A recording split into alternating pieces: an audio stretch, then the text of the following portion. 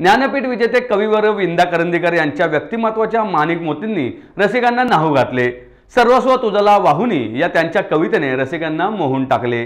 कविवरी विंदा करंदीकर यांच्या जन्मशताब्दीनिमित्त महाराष्ट्र साहित्य परिषद आणि अक्षरधारा बुक गॅलरीतर्फे आयोजित देणाऱ्याने देत जावे या विशेष कार्यक्रमाचं संहिता ज्येष्ठ कवयित्री डॉक्टर अरुणा ढेरे यांच्या हाती होती.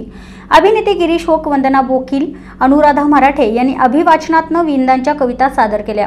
परचुरे प्रकाशनच्या अप्पा परचुरे कल्याणी मांडके विंदांच्या कन्या राजश्री काळे परिषदेचे कार्याध्यक्ष मिलिंद जोशी प्रमुख कार्यवाह प्रकाश पायगुडे कोषाध्यक्ष सुनीता राजे पवार अक्षरधाराच्या रसिका रमेश राठीवडेकर आदी यावेळी उपस्थित होते.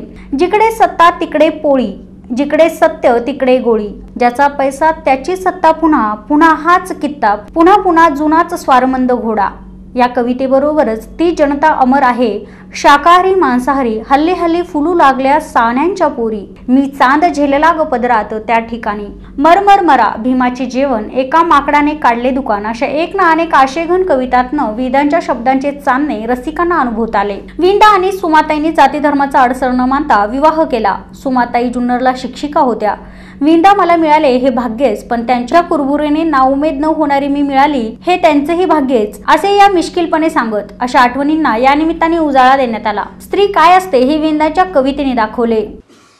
या जीवनाने जे दिले जन्मात ते मावेच ना आणि खरोखरच मी सांगते म्हणजे मगाशी परचुरेंनी सांगितलं अप्पांनी की त्यांना अतिशय कष्टात लहानपण तरुणपणाचाही बराच भाग गेला.